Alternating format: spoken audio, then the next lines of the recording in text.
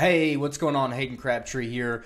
And today's video, we're going to be talking about how to analyze a self storage investment. I've also put together a checklist for you to make sure that you don't miss any of these moving pieces. So I'm just on LoopNet here looking at deals that are on the market. I'm not a huge fan of on market deals, but we're going to go through one of these just for the purposes of underwriting this. So I've picked this deal right here, uh, which gave me this listing. There's not a ton of details here, but there's enough to go through it. And so what I'm going to do is I'm going to log into my property stats, which is the software that I created to analyze deals. It's really good at analyzing self-storage deals, multifamily deals, houses, really all kind of real estate investments for long-term cash flow. And so if you log into my property stats, you're just going to go to analyze new deal. And we're going to crack down and get started. So I'm going to make myself a little bit smaller here. And we're going to type this in. So we have this Shelbyville, Tennessee deal. And I'm just going to type that in right here. Uh, Shelbyville deal. And so let's start and let's go through our our checklist here. Okay, checklist to this uh, will be accompanied this video. I'm not sure how I'm going to give it to you, but I'll make sure you have the link to this. All you have to do is come to File, and then you have to make a copy so that you can go through and you can actually click in and out of these checklists uh, yourself. Okay, so let's get started here. The first place that we're going to enter is the purchase price, which this deal uh, they're asking 3.3 million dollars. Okay. So $3.3 million, we're going to type that in the purchase price here. And then what we have to do is we have to come through and tell the system how will the property be valued. It's a commercial deal, so we're going to do a cap rate. Okay, now next piece up in the checklist, we're going to need to know your cap rate. So, what are market rate cap rates? You would have to go out, you'd have to research that, and you can really find that out by seeing other properties that are for sale uh, in similar sized markets and knowing that hey, this cap rate is going to be applicable to this type of property. So just being in the market, you're going to know that. If you don't, you can call big brokers like CBRE, Jones Lang LaSalle, called JLL, Marcus Millichap, and ask about cap rates in your area. And then the rule for me, and really the rule for all commercial real estate investors, should be your cap rate plus one percent is what you should underwrite to. Okay, and so I know for deals like this one, the cap rate, a fair cap rate is probably six and a half of what you could buy it today. So that means my future valuation cap rate, I'm going to use a seven and a half. Okay, that's a six and a half plus one percent to seven and a half, and so you're going to enter your cap rate in there. So step one, the checklist, know your cap rate, put it in, done. Now, next up, what we're going to do is we're going to come to our loan assumptions here. Okay, so we can see our loan assumption is 75% LTV, uh, which is 2.4 million at a 5% interest rate. I know that I can probably do a little bit better than this. that's just because I stay up to date with my lenders. And so I'm going to put in an 80% LTV over 20 years, that's 240 months. And my interest rate that I can get today is probably about 4%. Okay. So I just inputted my loan assumptions in the loan information section. The next piece up is to input my payment penalties. And we see here that my payment penalties already inputted at a 54321, which I think is pretty good. Um, I think that's probably pretty fair of what you can get in most commercial real estate. You may run into a 321, uh, which would be 3%, 2%, 1%, and no year 4 or 5. But I'm going to leave a 54321 in there. And I'm also going to put in that I'm going to pay a half a point. Okay. So we're going to come in. And that means on this loan, I'm going to pay a fee of a half of this loan uh, to the lender at upfront. So other than that, we're good to go. We've inputted our loan information in, so I'm going to come through and I'm going to check this off. Uh, and we also did our prepayment penalties. Now, the next thing I'm going to go to is the uh, closing costs. And so closing costs in here, I'm not going to get too granular. You could research this. You could go to, uh, I think it's smartasset.com. They'll come up with a detailed list for you. Uh, but I'm just going to go in. I'm going to say it's 1% of the purchase price is probably how much my closing costs are going to be, which is going to be $33,000. Okay. So you can just ballpark it like that, or you can get more granular. It's really hard to know when you're first analyzing a deal exactly what the closing costs are going to be, but that's probably a pretty good place for me to be. Okay. So I've done that. So let's go check that off the list. Now let's talk about what improvements are needed. So as I look at this property, uh, I'm going to try and figure out what improvements it needs. And so as I look at it, it looks like it has a gate on there. Um, so that's fine. I always want to make sure my properties have gates. If you don't have a gate on your facility, a gate is probably going to cost you about twenty-five thousand dollars. Okay, so twenty-five thousand dollars if I didn't have a gate. Now, uh, let's say that I thought this. I don't know why it's not letting me go here. Uh, I might want to get a new sign. A sign is probably going to cost me seventy-five hundred to ten thousand dollars. So let's go new sign. Okay, I'm going to add in a new sign here, and a new sign. Let's put in ten thousand dollars. Okay, ten thousand uh, dollars. Let's keep looking through their pictures. They have what looks like some old stuff that's not painted. Looks like there's potentially uh, different colors of paint. If I wanted to do an all new paint job, I would roughly estimate a new paint job is going to cost you know, I'm talking in 2021 is when this video is being recorded. It's probably going to cost me maybe 75 cents a square foot, okay? And so if I want to do that, I could come in and I could say new paint, and I could type in and I could do the math myself, or I could do a cost type method, number of square feet, and I could say it's going to be 75 cents a square foot.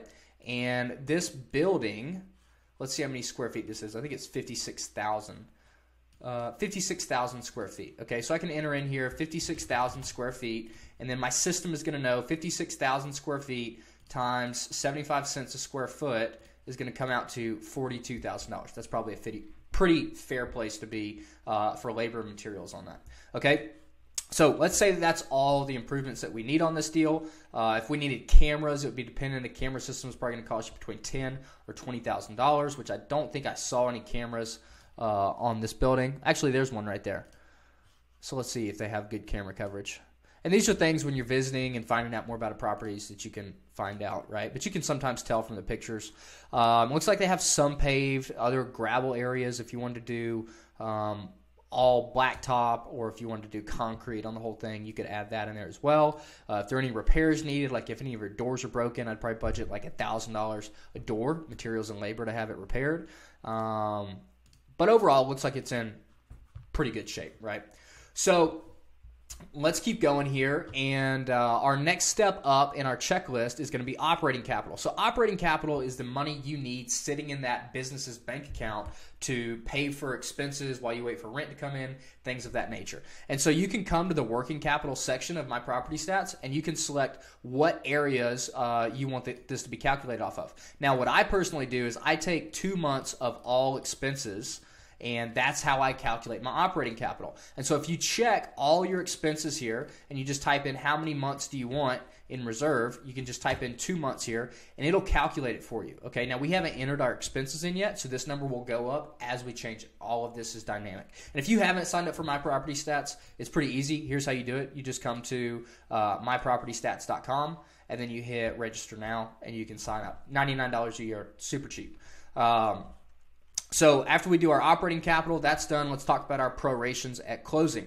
So in this bottom section here, uh, we know that we're going to have to prorate property taxes, and we're also going to have rent prorations. And if there's any prepaid rent at the facility, those are going to be coming to us. So uh, as we go through and enter in our property taxes, we'll come back to that one. But let's say we knew that we were buying a facility halfway through the month, and let's say they were doing, you know, forty thousand dollars a month in income. We would be getting twenty thousand dollars of that money coming to us based off of if we bought halfway through the month, right? If we bought three fourths of the way through the month, then 75% of that money would go towards the uh, the prior owner and 25% would go towards us, so we'd only be getting 10000 But let's say we're buying it halfway through the month. We type in negative $20,000. That's the money that would come to us, and watch it reduce our down payment right here. So that went from 790 to 770 reduce the amount of investment we're going to have to put in this deal, okay? Now, after we've done that, let's go to our next section, which is research your market rate rents. Okay, so really we have to come through and we have to figure out um, the, the sizes, the rent roll of this facility. And so this facility is under contract. I don't have the rent roll, but I would reach out to Phil here. I would ask him for a rent roll, uh, and I would try and figure out all the different sizes that they had and the rates that they were charging. And so how you input that into my property stats, you come to income and you can type in all the different unit sizes. So we'll have a 5 by 10s. I'm sure they have 10 by 10s. I'm sure they have 10 by 15s. And, oops, 10 by 15, and I'm sure they have 10 by 20s. Okay, so 10 by 20, and I also think I saw they had some bigger industrial units, 20 by 25s. Okay, so 20 by 25s, 20x 25. Okay, and now we can enter our square feet in here, which is 50. I'm just multiplying the sizes here 100, 150, 200, and I think 20 by 25 is 500 square feet. So 500 square feet. Okay, now we can come through, and again, if you if I had the rent roll, I would be putting that in there. I'm just kind of spitballing right now for you guys. Uh, 59 units, which is 29,500 square feet. Um, and so, how many total units do they have here? They have 199 with 30 RVs, 30 RV parking spots. Okay, so let's also throw in uh, RV parking, and they have 30 of those. Okay, now what we need to figure out is what the market rate rents are. So what I would do is I would come to this website called Sparefoot, sparefoot.com, and I would enter in the zip code, which is 37160, 37160, Shelbyville, Tennessee. And I'd come there and I'd try and figure out what the market is charging for these different products. Okay. Now, if I knew what the the current facility was charging, I would put those in the current rent field. But what really matters is the market rent. How much can this facility produce in terms of income, right? So I'd come to Shelbyville and I would look around here and I would try and get a feeling. I'd click on five by tens and I would see what everybody around me is charging. Now, as we notice, the closest facility, and I can sort here by distance. So I'd sort by distance, 18.6 miles away. This 5x10 is 55, 29 miles away. This 5x10 is 72. Obviously, the closer the better, right? Storage is kind of like a gas station. People aren't going to drive 30 miles to save, you know, five, 10 bucks a month, right? You're going to compete with the people who are in your local area. And so, as much as possible, I want to use the people who are closest with me in determining my market rate rent. So, let's just say that the market rate rent is $55 for a 5x10. I'd enter that in here. Um, and let's say that there are, you know, let's say there are 25 of these units. Let's just say there are 25 of all of these units for quick analysis purposes. 25, 25, 25. Okay, they're going to have a little more than that, right? Um, again, I would want to use the actual numbers that they gave me. And so now as I'm coming through, let's figure out what the rate on a 10 by 10 is. We have one that's 14 miles away, it's $82. Another one that's 14 miles away, it's $82. Um, so let's just use 82 bucks here for 10 by 10s.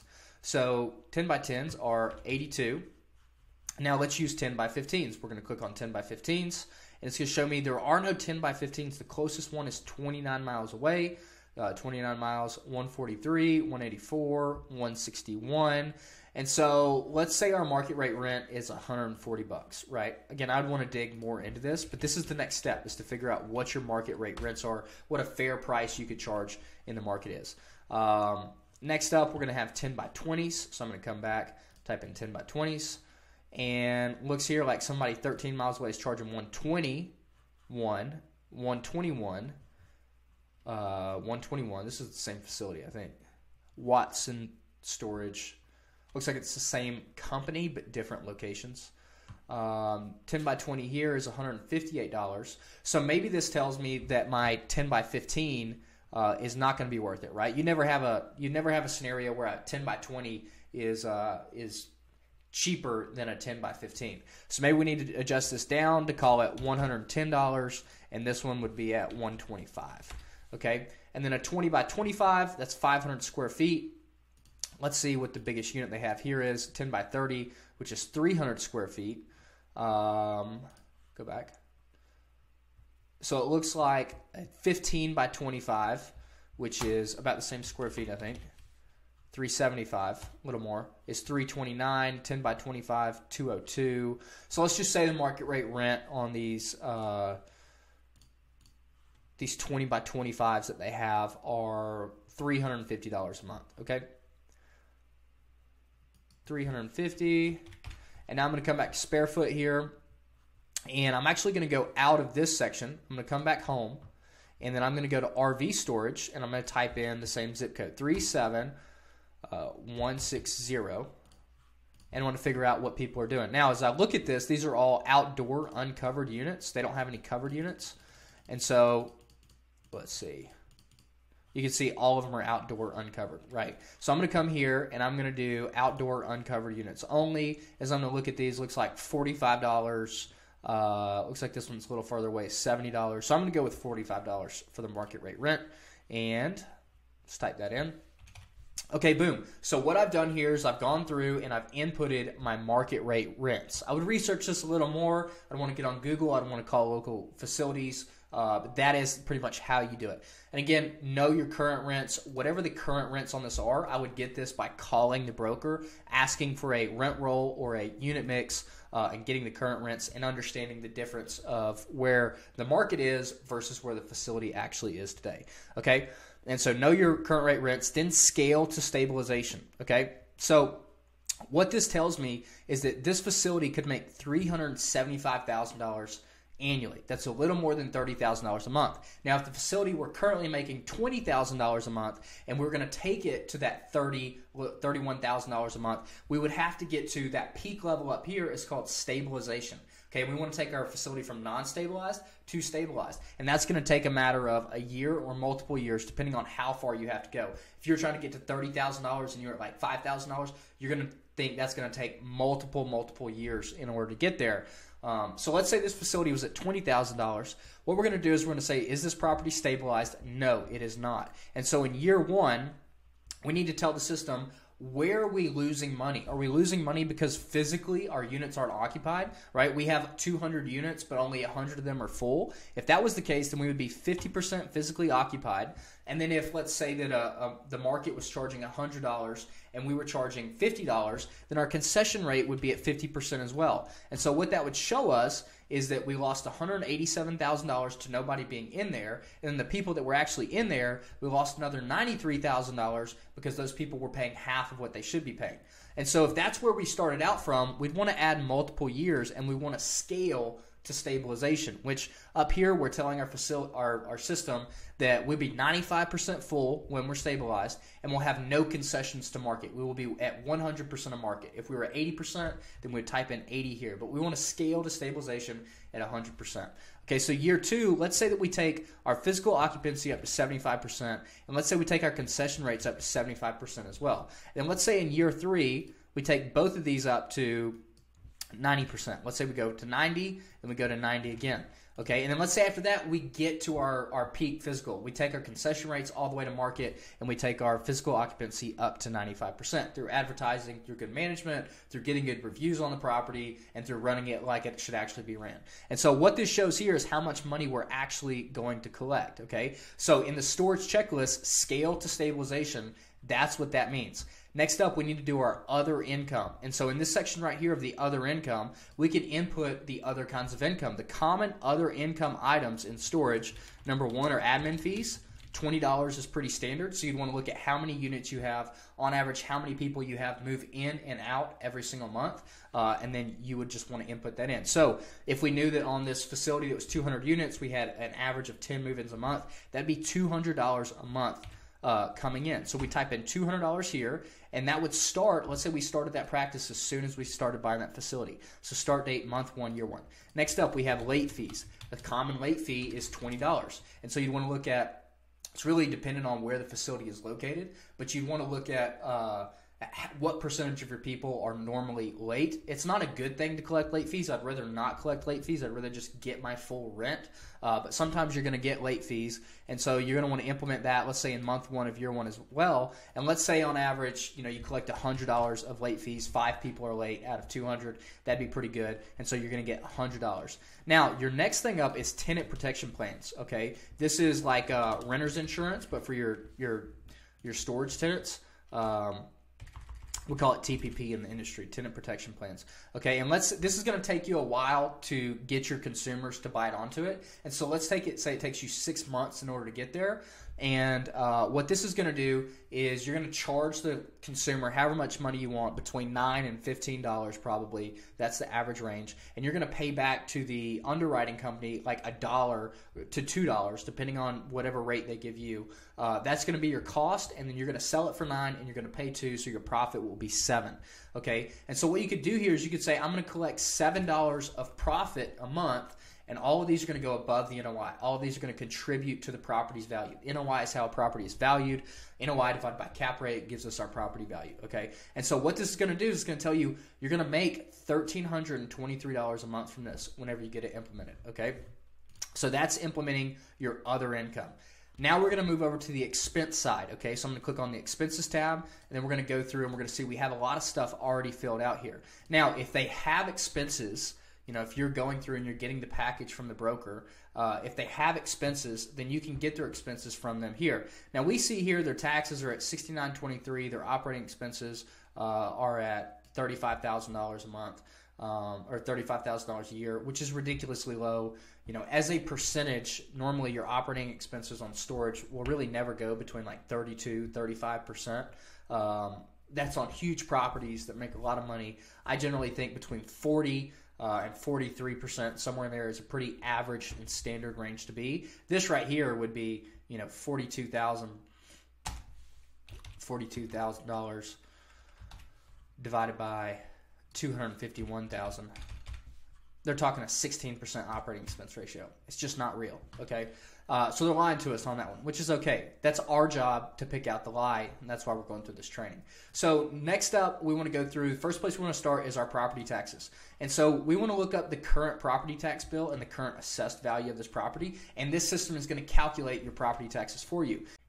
Okay, and so the property taxes information on this LoopNet listing can actually be found down here. And so their uh, their total assessment seven hundred thirty two thousand dollars, and their property taxes are sixty nine twenty three. And so whenever we come here to the my property stats, we can enter that in here. The current bill sixty nine twenty three, and the current assessed value of the property. Let's take a look is 732,600. 732,600. So I'm going to type that in here. 732,600. And so whenever I click out of here at our new purchase price, it's going to show me what our property taxes are going to go up to. $31,000. So our property tax is going to increase that much because the government is going to know, hey, the value of this property is much higher and we're going to tax you more for that. And so whenever we look at their listing here, they're saying their total expenses are only $42,000. Well, after we buy this deal, guess what? Our property taxes alone are going to be $31,000. Okay, so this is the importance of making sure you're doing good underwriting.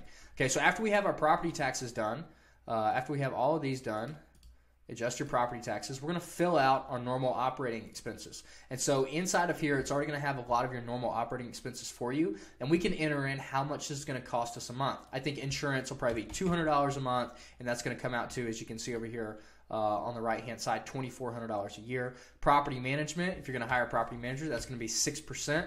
Uh, utilities, this looks like it probably doesn't have a lot of utilities, so let's call it 100 bucks a month. Pest control, let's call it $50 a month. Uh, repairs on an older facility, I think you're going to want to budget a little bit more. On a new newer facility, you won't have to budget as much. But I would just think that you know, kind of the way that I look at it, the way that I approach it. On an older facility, I think I'm probably going to spend, you know, probably uh, 200 bucks a month on repairs. Could be a little more if the older is, if the property is older and know I know that it needs work, it's going to need love. Uh, but we'll type in 200 dollars a month, uh, and then repairs and maintenance. I kind of view those as the same thing. But I'm going to plug in 100 dollars here for maintenance. If you're buying self storage, you need to do things like lubricate your springs uh, when a tenant moves in and moves out. And so you'll have some money there in maintenance trying to prevent things from breaking, and then you'll have things that actually break, right? Next up, we'll have landscaping. And so as I look at this property, how much uh, grass area does it have that needs landscaping? Um, probably a decent amount. We can see that weeds are going to grow up around here. Uh, I know that there was RV parking, a field out there. And so all that grass is going to have to be cut. I think that'll probably cost you on average $200 a month uh, probably more in the summer, less in the winter. Uh, so I'm gonna type in 200 bucks a month here. Uh, again, this is just me spitballing. Like if I had this property under contract, uh, then I would be talking to lawn care providers, people who could do that for me to get an actual cost. If they already had a lawn care provider there, I just want to know from the broker or the owner, hey, how much are you paying for that? And I would input that expense here. Okay, and then accounting, you're going to pay for taxes. You may pay for bookkeeping. It may or may not be included in your property management. Well, let's just say that this comes out to 200 bucks a month. Uh, and then advertising, right? So one of the things that we're going to know or have to figure out is our advertising. So we're done with our normal operating expenses. We'll come back to labor here in a second. Uh, advertising. Advertising varies greatly based off of your facility, your location, and all the, the, the, the jazz around that, right? If you're in a great location, you know, right on a major highway, you might not have to spend any money on advertising. If you're way out in the middle of nowhere and you can't get tenants, nobody can see your location, you may have to spend more. And so, really, I think a normal range uh, is zero dollars of advertising for for places with a great location, up to five dollars a unit a month uh, for facilities that are kind of way out in the middle of nowhere. So, for a 200 uh, for a 200 unit facility that's kind of way out in the middle, I think you should budget $1,000 a month for something that you know maybe is in between maybe it's on the outskirts of town has some visibility maybe you could budget two or three dollars a month for those units. And it all depends on how full it is right? Like i think that the broker said on this one that this has 99% occupancy. So there's no need to advertise right? So maybe i'd throw in a little bit of money for advertising. Maybe i'd throw in here you know 100 bucks a month for advertising. But if this facility just to be clear if this facility were at you know, let's say going back to kind of our economic occupancy idea, if this facility were 50% full, then I want to throw in a lot of money to get this thing advertised so that I can fill that up. Because every day that a unit sits vacant is money that I'm losing, money that I could collect that I'm not collecting on, right? And so that's how I think about uh, advertising. And so next up, let's talk about labor cost. You have to figure out what kind of facility are you going to run.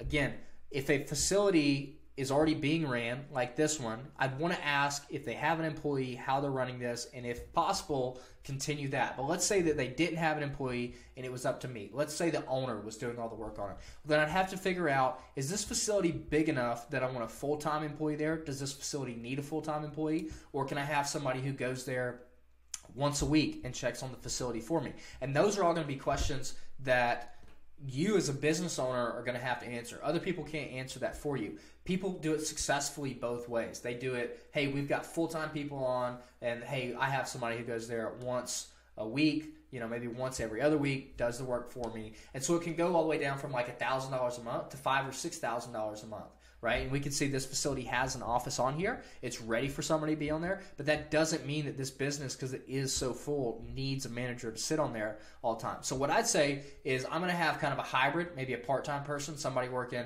you know, 20 hours a week on this on this property doing all the maintenance. Maybe they have partial office hours. Maybe they can schedule an appointment with people uh, on site. And so I think that that's probably going to cost me you know, let's call it thirty thousand dollars a year for a for a full time part time employee, somebody who's always part time there. And so I just come to uh, I'd make a labor category. We could call it on site management would be fine. And that's going to cost me twenty five hundred dollars a month. Okay. Plug that in and then boom. So now we can see on the right hand side over here, we have all of our expenses. Before I move on, a normal operating expense. We're going to have a couple other ones. Um, we need to talk about software and we need to talk about payment processing. That's another checklist item here. Whenever you're doing storage, it's great idea to get all of your customers paying by credit card on auto pay. So what you're going to want is you want payment processing, okay? And payment processors charge a fee of the revenue. So you, whenever you come here, you can do a drop down. You can do revenue percentage. And out of I've had 15 storage properties. The average percent that I've paid is 2.4 percent.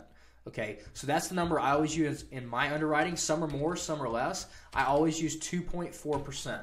Okay, it depends on what kind of credit cards your customers use, uh, how big of the volume is, all of that. But 2.4% is the amount I underwrite to. You can do higher. I know some people who are as high as 3. I know other people who are as low as like 2, 2.1.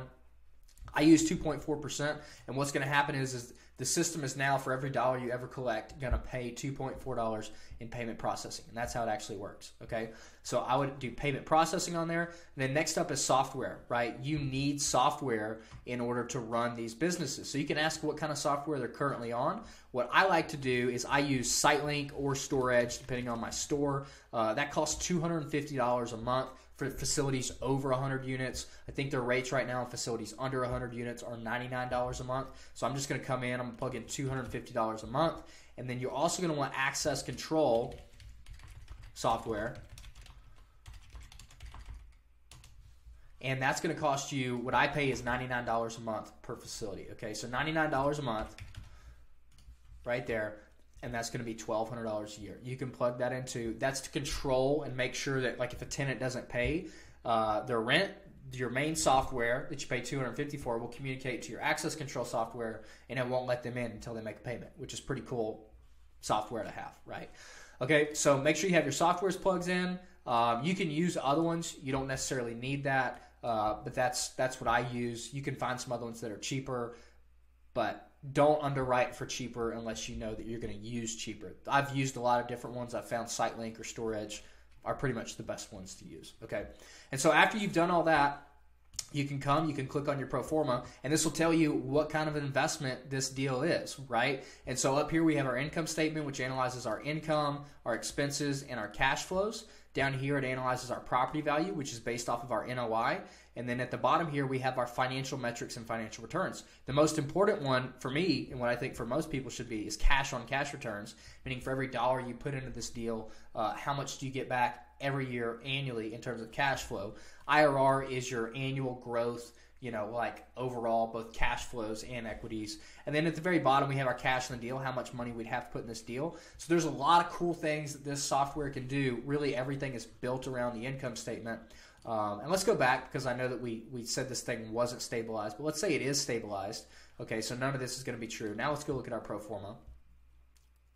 What we're going to find here is, oh, let me go back. Let me get rid of these.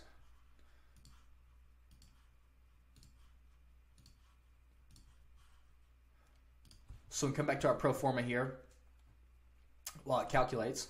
And uh, we can see that we think that this property, based off of what we've told it, is worth 3.4 million on that seven and a half cap that we used. And so we can buy it today for I think the number was 3.3 million, right? How much they wanted for it, 3.3 million. So maybe it's a pretty good buy based off of these numbers, based off of our analyzing. But let's say it wasn't. Let's say that we wanted, you know, a 10% cash on cash year one. Well, I can come to the goal seek, and what I can do here is I can type in my cash on cash of 10% and I could do that in year one. This tells me my current rate is 8.64. Let's also say in IRR, I wanted a 15% IRR by year two, uh, which my current IRR in year two is 14.82. Or let's say that I wanted a you know a three equity multiple uh, over four years, meaning for every dollar I put in, I get three back. Uh, in terms of cash flow, and if I were to sell the property, well, I can hit seek answer, and what this software is going to do is it's going to go through and it's going to figure out how much you can pay in order to hit those goals. The cool things about all this is it changes your uh, changes your property taxes because if you pay less, then of course your property tax is going to be lower than that thirty-one thousand dollars we increased it to. Your operating capital needs are going to be less. You don't necessarily need that much operating capital if you pay less and your loan payments less and everything like that. Uh, and it just changes everything and analyzes. So what we can see here is if we want to hit this ten percent cash on cash goal, we can pay three point one eight million. If we want to hit our fifteen percent IRR goal, we pay three point three million. Uh, if we want our equity multiple of 3.0 in year four, we could pay 2.86 million, and I could choose which of those I want. Right now, as you go through, you're going to want to compare different options. You can do that in this module. You can try different loans against each other, and then last but not least, as you're going through and you're building out uh, and getting all your important documents. Like I said, if I were to request documents from the broker, I could store all those documents in this due diligence Dropbox. So this is how you would go through and how you would the basics of analyzing a self storage investment. I hope this was helpful. If you have any questions feel free to drop a comment below. Uh, if you haven't, get my property stats. It's an extremely powerful tool for analyzing any kind of real estate deal, not just self storage, but any kind of deal. Although it does really, really good. It's probably the best deal analyzer in the world uh, for multifamily, for self storage, for rental houses, for anything of that nature. Sign up today. Just go to mypropertystats.com and register now. Hope this was helpful. Talk to you soon.